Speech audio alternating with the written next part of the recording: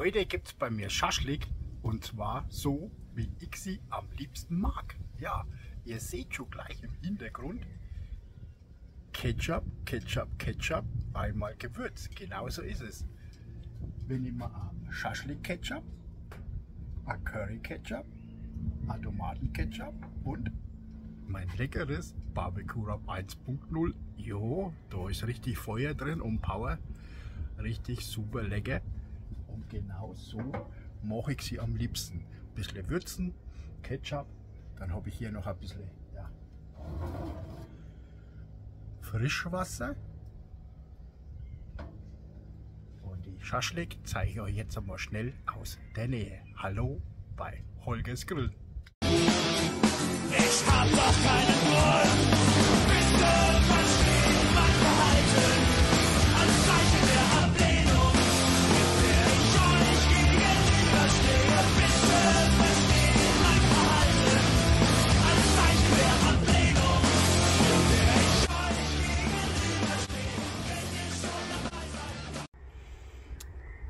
sind sie, die fünf Freunde. Ja, die werden gerade von Wespen attackiert. Ja, muss man jetzt aufpassen. Aber ich beeile mich ja jetzt. So, den Ketchup. Schaschlik Ketchup. Curry Ketchup. Tomaten Ketchup. Mein Gewürz. Und hier drüben. So ist der Anzündkamin und die Briketts. Ihr seht schon, die brauchen nicht mehr lange. Denn ich mache das heute hier auf dem Kugelgrill. Das ist ja wie bei einem Gasgrill. Wenn du jetzt hier indirekt grillen willst oder direkt, kannst du ja dann durch die ein, aus, ein, aus, Wärme, Kälte, kannst du ja alles regulieren. Und genauso kann man das aber auch mit den Kohlekörbe machen. Wenn man sie weiter nach innen schiebt, unterm Topf, dann wird es natürlich heißer. Wenn man sie nach außen schiebt, dann wird es unter dem Topf kälter und so kann man die Temperatur dann ein bisschen regulieren. So, und wenn jetzt die Briketts soweit sind, die brauchen noch ein paar Minuten. In der Zeit werde ich natürlich jetzt die Schaschlik schnell würzen. Das Würzen mache ich natürlich gleich hier im Topf. Ja, da geht dann nichts verloren für die Gewürze. Und es ist eigentlich egal, ob man es jetzt gleich würzt oder später würzt. Und nein, ich werde die Schaschlik nicht anbraten. Ich mag sie genauso, wie ich sie heute am liebsten mag. Ich werde sie hier drin im Topf richtig weich garen und ich gehe davon aus, es wird so circa zwei Stunden dann im Topf brauchen. Und dann, ja, dann probiere ich die natürlich aus, wenn es soweit ist. Und da tun wir jetzt fleißig, fleißig, richtig heftig gewürzt rein, denn ich will es richtig, richtig feurig, scharf, richtig würzig. So schaut es dann aus. Ja, wenn es fertig ist. Der Kugelgrill ist also startklar. Den Einsatz habe ich schon rausgenommen hier. Ja, vom Rost. Denn da kommt jetzt der Dutch Ofen rein. So. Da steht er richtig fest und stabil. Jetzt kommt Frischwasser mit in den Topf.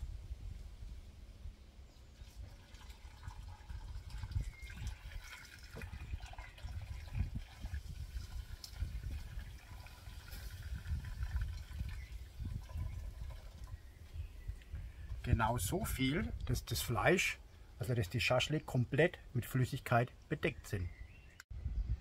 Anschließend verschließe ich natürlich den Topf.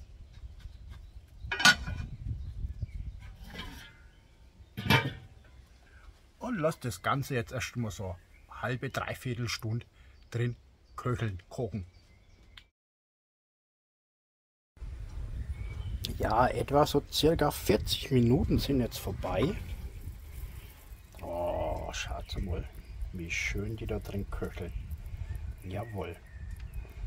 Jetzt wird es langsam Zeit, mal unsere Ketchup-Soße vorzubereiten. Ja, jetzt kommt der Ketchup mit ins Spiel. Natürlich ist beim Ketchup die Reihenfolge total egal.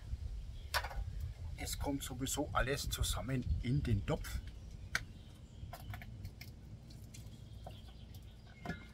Vom Tomatenketchup sage ich einmal nämlich das meiste. seht ihr, das war eine halbe Flasche. 800 Milliliter, also so circa 350 bis 400 Milliliter Tomatenketchup.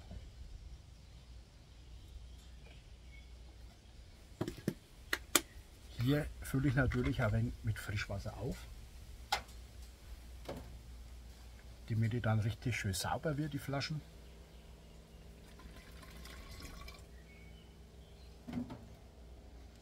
Und ich die auch ordnungsgerecht dann entsorgen kann. Kunststoffabfall natürlich.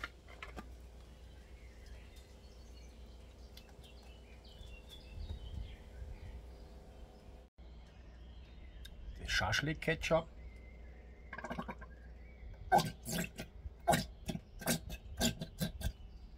Auch hier werde ich die Flasche ein wenig mit Wasser ausspülen. Diese Art und Weise kriegt man natürlich seine Flaschen schön leer und sauber.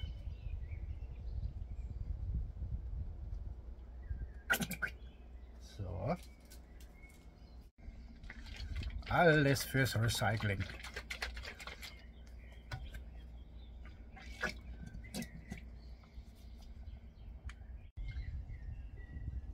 Das Ganze habe ich jetzt gut verrührt.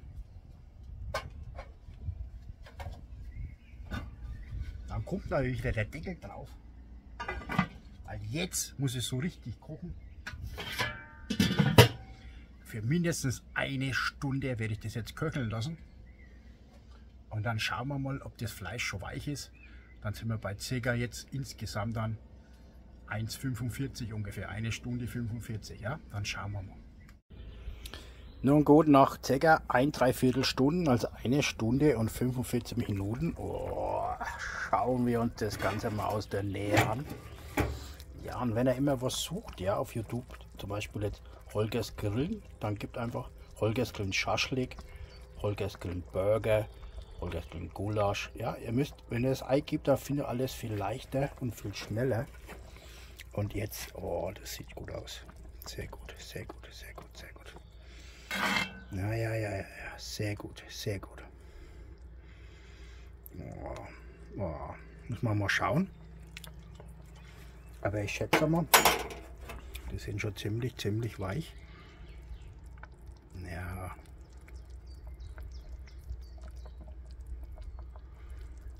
Ja, das ist schon sehr weich. Da können wir jetzt gleich einmal probieren, ob die Soße passt. Und natürlich dann im Anschluss gleich ein Schaschlik ausprobieren.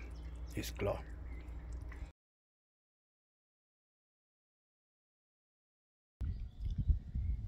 So, man hat natürlich jetzt hier auf dem Kugelgrill die Möglichkeit, wenn dann die Soße noch zu flüssig ist, ja,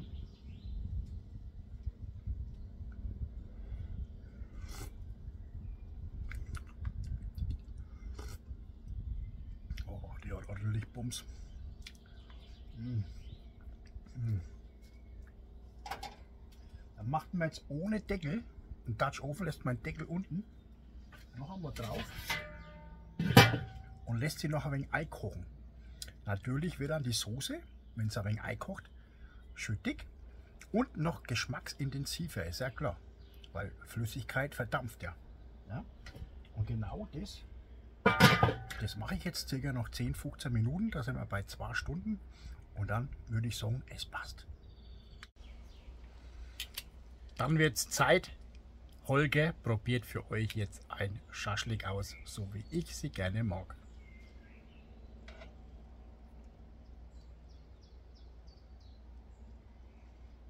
So. Da liegt's. Und so schaut es dann aus der Nähe aus. Schaut mal.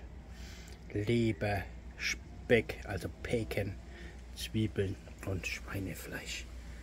Oh ja, das ist mein Schaschlik, so wie ich das mag.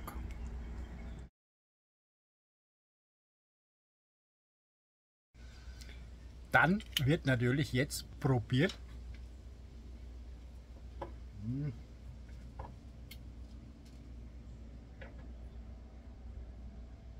komm, wir nehmen das ganze Paket. Schweinefleisch, Liebe und Bacon.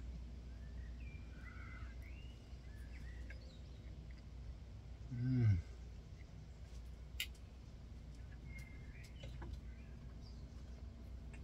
Noch eine Zwiebel dazu. Mm.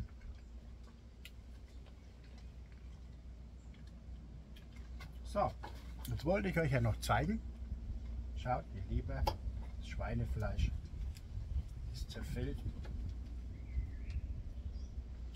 Das geht ganz, ganz, ganz leicht einfach da runter. So, zack. Oh, lecker.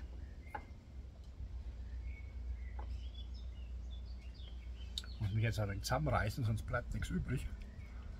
Mm.